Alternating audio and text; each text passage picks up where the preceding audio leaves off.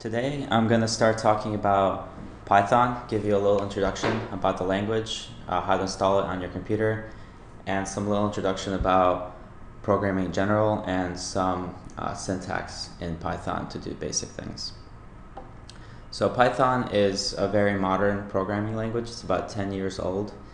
And at this point it's become pretty ubiquitous in software. Uh, it's a very easy to learn language and it's used in a lot of uh, scripting environments for not just for programming but also for scripting software like Rhino uh, 5 has it built in now, uh, Maya, and a lot of other programs. So it's a very worthwhile language to learn, and it's the language we're going to use for this class. So nowadays, most operating systems come with Python already installed. Um, a lot of Windows computers have installed, and I think it's included in uh, OS X at this point. The way to check if you have it already installed is to go to your C drive, and if you have installed, there should be a Python folder in the C drive. So the version of Python we're going to use is the last version of Python 2, which is Python 2.7.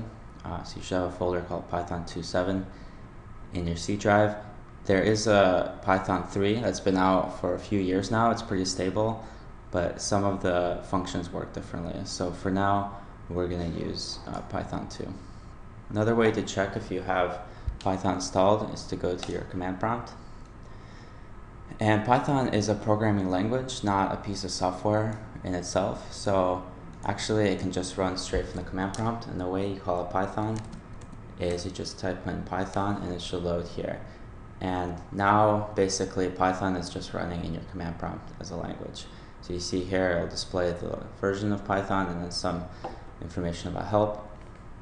Uh, and from here, you can just start typing Python commands. So the simplest way is you can just start writing in math functions and it'll give you the answer. So here, um, this is Python running now. Um, you can do anything that Python does right in the command prompt. And if you want to quit, just type in quit function and it'll bring it back to your command prompt. So if you type in Python and it doesn't load right away, um, it might be because your computer isn't set up to find Python in the right place. And what you need to do basically in Windows, in Mac this should already be set up, but in Windows you might have to go and add the Python directory to the list of places that your command prompt looks for software. And you do that by adding a path variable. So you go into control panel go into your system folder, go into advanced system settings, environment variables. And what you want to do is add, edit the path variable. So path is where um, command prompt will look for programs, so then you can basically just type in the name of the program and it'll find it. Um, so you should have in your user system variables a variable called path, and you edit it. And you want to make sure that you have C colon backslash Python 2.7 or whatever folder your Python's in. Um, each path variable should be separated by a semicolon. And you might have more of these. Here I have the scripts folder also because I want to uh, automatically be able to call up Python scripts from the command prompt. So once you do that, you should be able to just type in Python into your command prompt and it'll launch there. If you don't have Python installed, uh, you can basically download it from the Python website. So it's www.python.org and you can go to the download section and there's all these install packages. The next thing I'm going to talk about is installing custom libraries into your Python package. So the great thing about Python is that it's one really easy in terms of syntax. That's why people have uh, gotten really into it. It's really easy to learn. The other great thing is that it's very flexible. So Python as a base has a lot of functionality, but uh, it's very easy to write libraries to do specific things in Python. And people have written a lot of these libraries already to accomplish specific tasks. And uh, it's important to learn right off the bat how to install these packages into your Python. Uh, there's many ways to do this. You can install them from scratch uh, by yourself. The difficult part is that some of the packages need other packages to work. So they have this kind of hierarchy of requirements and uh, because it can get a little complicated to find out which ones you need, uh, there's been a few of these installation tools for Python that make installation easier.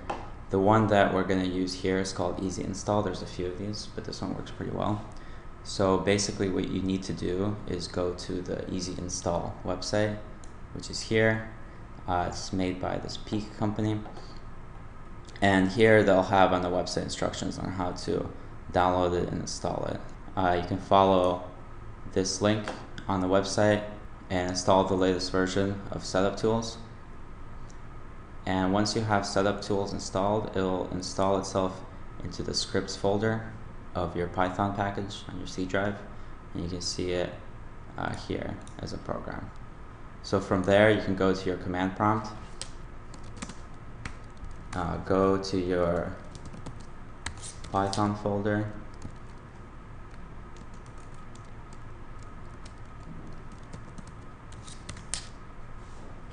Uh, from the Python folder, you can go into your scripts folder and you can run easy install. So if you just type in easy install, uh, it'll tell you that uh, there's an error because you haven't specified URL, file name, or requirements. So to install anything with easy install, you basically type easy install and then you pass the name of the package that you want. And you can go back to this website and it'll give you instructions on all the different ways to download install package. The simplest way is basically type in easy install once, once you're in the folder and then just the name of the package. There's many packages that are useful for Python. The one we're going to use here um, in this class is a special package made for web scraping applications and that's called Beautiful Soup. So to install that you simply write easy install and you type in Beautiful Soup. So this will basically automatically search for Beautiful Soup, uh, find the address of uh, where the package is, is, can be downloaded from, and it'll download not only that package but all the requirements. Because I already have it installed, uh, I basically found it already on my system. And you can see here, finish processing dependencies. In your case, if you don't have installed, it might take longer, and it'll install everything basically you need for Beautiful Soup. Uh, once you have that installed, you can launch Python and do import bs4 which is the name of beautiful soup on the system and um, it should uh, it should be okay with it if you don't have installed it'll basically give you an error saying there's no such package okay so that's the basic idea behind download packages and you can explore on your own all the other libraries that are available. Um, we might mention a few of them uh, further on in the class